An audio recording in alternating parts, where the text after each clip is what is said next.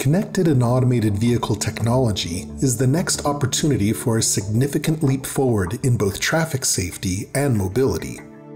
One of the key goals we have here at UDOT is safety. We want to, we want to arrive at zero fatalities, zero crashes, zero injuries.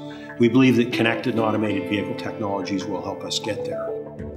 We don't know how well they're going to work until we try them. And we don't know how well we, how ready we are for some of these technologies until we try them and do them. And this study, this study gets us there. In August 2021, UDOT partnered with VSI Labs to conduct an automated vehicle or AV readiness study to evaluate the compatibility of Utah roads with automated vehicle technology. The study was conducted by a team with two vehicles, each equipped with advanced camera, LiDAR, radar, and positioning systems, which are the technologies used for vehicle automation. These vehicles were driven on different roadway segments throughout the state to record data from these systems.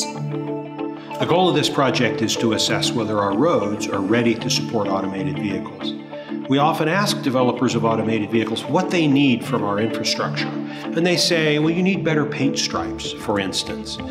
This study is going to help us get a little more specific about what features of our roads are helpful or not helpful for automated vehicles. If an automated vehicle is driving down our road, can it interpret what it sees effectively? Or do we need to be doing some things to get our roads ready?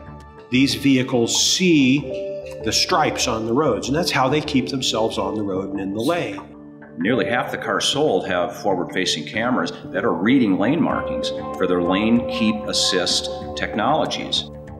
As a part of the AV readiness study, VSI Labs surveyed over 1,000 miles of roadway within Utah over these three routes. We picked three very different corridors. First of all, we started with Interstate 15, and they drove from St. George to Salt Lake and then back to St. George so we get both sides. Then we picked a more rural but major corridor, US 89, from Salina to Spanish Fork and back. And then we decided to try Little Cottonwood Canyon.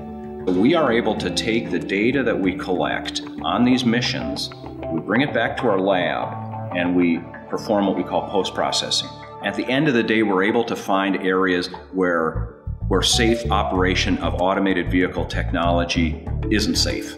The data collected from this project indicated that the majority of the surveyed roads are very suitable for lane keep assistance and automated driving systems.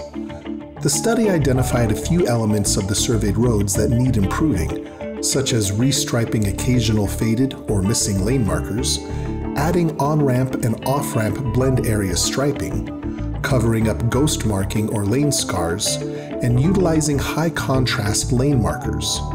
This allows us to start planning our maintenance operations in UDOT uh, to say, here are the standards we need to meet with our pavement stripings, for instance. Here's, here are the problems we need to fix. Here are the issues we need to solve. To further Utah's vision of connected and automated technology in our state, UDOT will continue to research and gather data to improve AV readiness. Studies such as this will help UDOT to develop technologies that will move us significantly toward our vision of zero fatalities, improve mobility and access, and bring quality of life and economic enhancements.